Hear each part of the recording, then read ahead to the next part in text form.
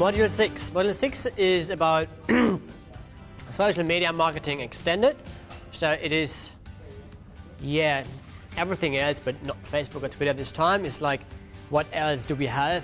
Uh, what we can use to promote our business in the social media area. So we're going to talk about, um, yeah, a bit like mobiles and checking in and uh, all that stuff. Um, we have Facebook ads, so it's more like a an apps. So as I talked earlier, like the own content you can use on Facebook. Uh, ads is like like Google Ads or any other ads on the right hand side, where you see other people, uh, yeah, promoting their product. Um, we talk about a bit YouTube and location-based networking, which is well, another name for that would be checking in. Uh, we, we, talk about mobile and mobile sites or mobile apps here. Yeah? Do we need that or when do we need that? And finally, uh, about Pinterest and daily deals like Groupon or Scoopon. Okay, and it's all about maximizing our digital potential. So to use whatever we can use, um, not to use it this way, how Batman and Robin. Um, yeah, in this case, checking in is not sensible. Uh, we talked about, about Facebook earlier. Now we talk about here to maximize our Facebook uh, profile, our Facebook account for our business. And we talk a bit more about apps, ads, and sponsored stories. I have an example here. Uh, the apps are the areas where you can provide your unique content under, let's say, the Facebook umbrella, like welcome page, like uh, a campaign, or uh, a little gadget where you provide details about upcoming weather or whatever you want to do depending on your audience. Uh, the ads are on the right hand side and we talk about how to create an ad on Facebook and why it could make sense for you. And then something called sponsored story that is fairly new. It is if you have like content going on and many people are sharing or commenting on that content so they're really engaged, you can decide to use this kind of content as an ad. So people see an ad, but this kind of ad has kind of a social, let's say, touch. Because people see, oh, it's an ad, but actually I can see the comments and the photos of people. So it has not this, this typical character of an ad. It's a bit more social. Highly interesting.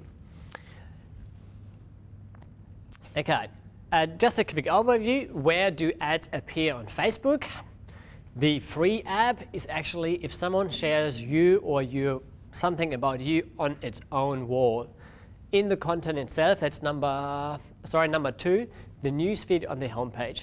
Someone sharing information about you, it is an ad effectively because their friends, their people, their audience see your business name, your photo, your content. So it's effectively a free ad just on a social platform.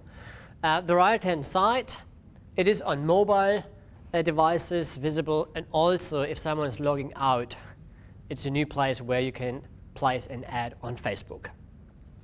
All right, so we have four options.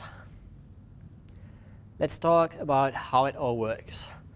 Um, uh, after this, we're going to talk about why it makes sense to use Facebook ads. I just explained quickly how it all works. Face Facebook ads is very, very similar to Google ads. So I click either, I, I pay either for an impression. So I let Google know I want 1,000 people to see my ad and I pay a price for that. Or I want 1,000 people to click on my ad and I pay a price for each click. So what I need to do before I start working with Facebook ads is effectively def defining what is my goal. Yeah, do I want to promote a website? Do I want to lead a, a, new fan, a new consumer to my Facebook profile? Or do I want to increase my fan base to get started, to get more fans liking my page? So that is something uh, we need to define before we start. The second one is who? Who is my target market? And this is where Facebook has a big advantage compared to uh, other platforms or other uh, ad functionalities. And that is, I can decide where exactly. I can decide the level of education my audience or my, my audience should have because we all have a personal profile. And lots of people fill out those information like, okay, went to high school here, went to uni here, made a PhD here, is working here and here. So Facebook knows exactly the status of your, let's say, of your uh, knowledge, of your education. So we can use those information. We also know the age, the gender. We know if this guy is single, engaged, married, divorced. So if our target market is, let's say, divorced, male, plus 40 in age, this is what we can do in Facebook. We can, now, we can go exactly on this target market. Uh, we also can uh, define to say, my ad is only going to be displayed to my own fans, people who like my page if you have a special promotion going on, for example. You can say only to people who like me and their friends, so very close relationship, or to everyone in the world. So that is what we have to define. We can define the audience of where our ad should be displayed and to whom.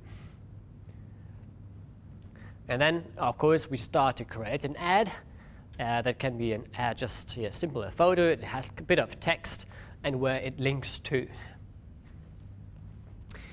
After that, we define the budget.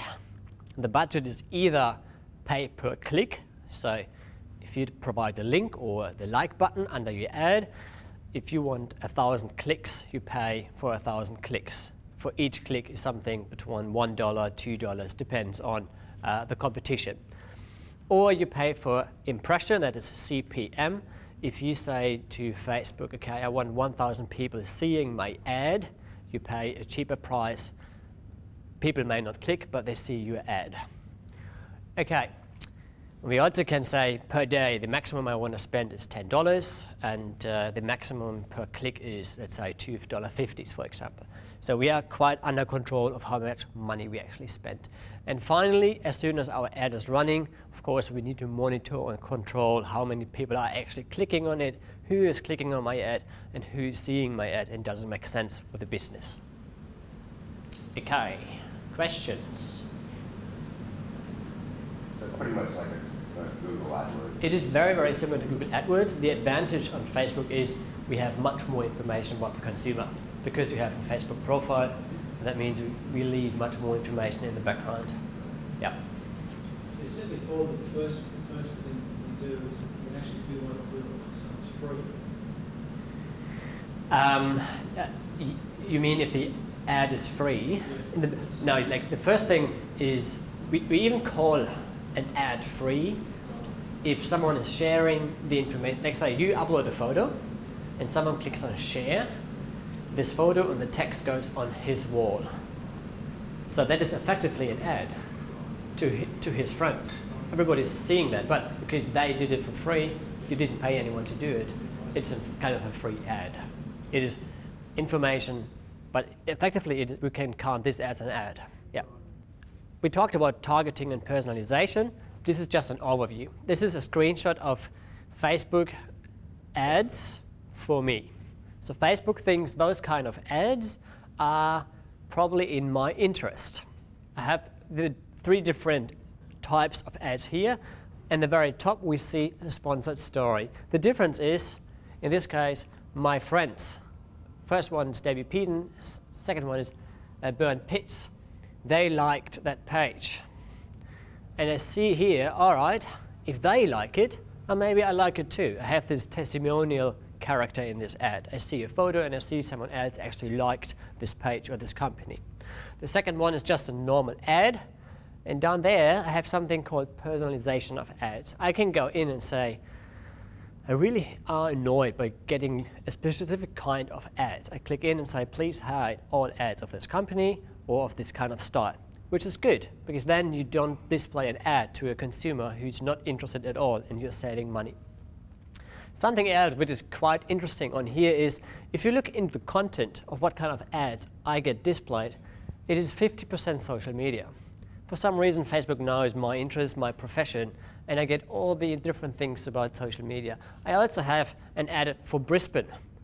Facebook knows that I live in Brisbane, so I get specific, specific ads for, for the, the yeah, where I live. And actually, I clicked on it. because, oh, that's interesting, I didn't know that, and boom, there you go. Sometimes it's a bit freaky how much they know. okay, that's all about ads. Um, what I've seen so far is many operators, many, many companies are using Facebook ads to increase the fan base, to get more fans, more likes for the page, and it works really well.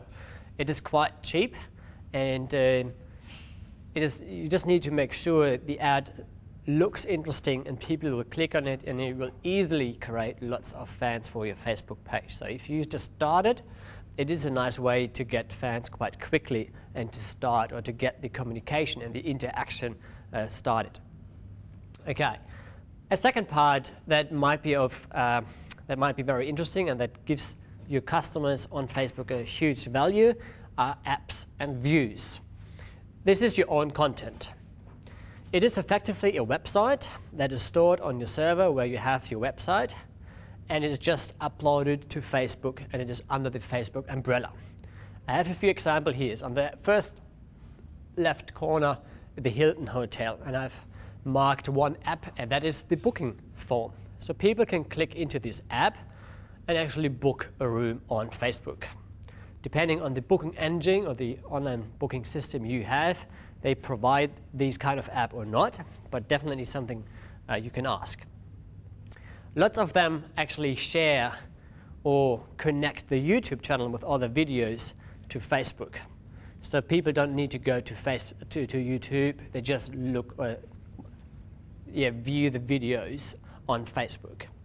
Something else is on the right hand side is a campaign, win a trip for two to Queensland. Kind of a competition, a campaign. Uh, people are going there, they have to like the page, they leave details uh, of their name and email addresses, and then they win something. Uh, I have an example later for that as well. Or down there, we're watching more information about a specific region. Um, yeah, so you can utilize these kind of apps the way you like to do it, depending on what kind of information you want to present to your audience. You need a developer for that. You can't just create that and say, okay, somehow I need to put it, I put it on Facebook. Unfortunately, it is a bit of effort to create such a new page or to create uh, a campaign, uh, but it is worth it. I have a very small operator here, that is the High Street Motor Inn in Stanthorpe. They just decided to use the newsletter subscription uh, in their app area to, yeah, to make it worth it or to yeah, give some extra information to their customers. Um, I can give you an example. The Queensland app, the welcome page. What they do here, it is more earlier when we had no timeline yet. It was more about why should I like this page? So they explained a bit what is this company, this page about, and people could decide is it worth it to like this page or not. Uh, that is something you can still do on a welcome page. It explains a little bit more about yeah, Tourism Queensland or your company and why they, yeah, give them a reason why they should like your page. I just scroll down a little bit so you can see. In this case, uh, we offer a bit more information about destinations, about deals, packages, campaigns. Uh, so just a bit more information instead of what you can present on the first page of Facebook. Does the ATDW website link back to this one? The ATW website, if, they, if it's linking to your front page of Tourism Queensland. From ATW. We'll see those links and what their destinations, things to do, experience, all of that. Oh, that goes straight to queenslandholidays.com.au. Those Which, links. Yeah, but what I'm saying is the information that we upload onto the Australian data, Yep. tourism data warehouse would be seen on would be seen on that, yes. Yeah, you can you can have further content on this page, or you link from there out out of Facebook to your own website or wherever it is. Yeah. Okay, back to the presentation. Okay, I have an example. Tropical North Queensland had just uh, was just running a, a bigger campaign called the Ultimate uh, Adventure Crew, and actually this was lots of fun. What they did, they had in one of the apps a campaign running. You can win a trip with with a crew of five people to tropical North Queensland. But to participate, you have to like the Facebook page. It's the first reason. But I thought, and I did it a couple of times, it is worth it to like this page because I get a fi five days, uh, 10 days. I get a holiday potentially for 10 days with my friends. So of course I like this page. As soon as I liked this page, I had access to this competition, to this campaign, and to participate in this kind, uh, yeah, uh, of uh, a competition. What I can do now is, because it's all about uh, the adventure crew, I have to decide who is on my crew.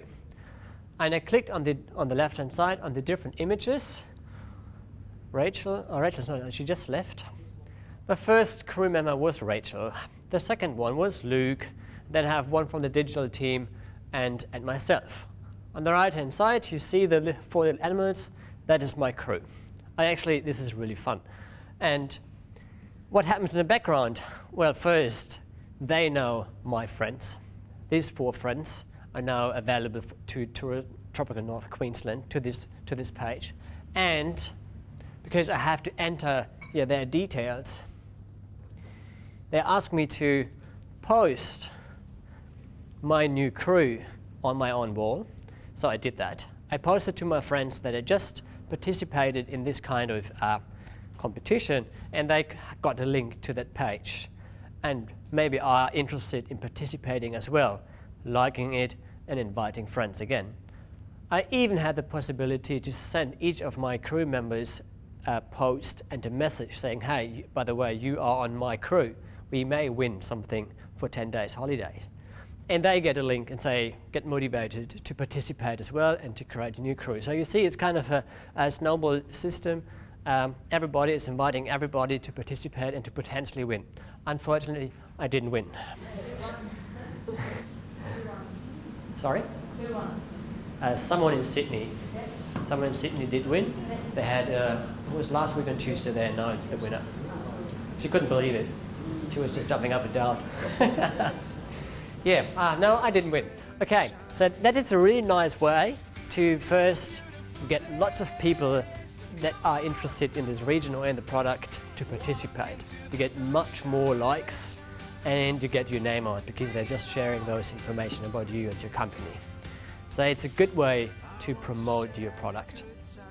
Downside, you need someone who is programming this kind of app. Yeah, you have to, you have to spend a bit of money for, yeah, to create yeah, this kind of app.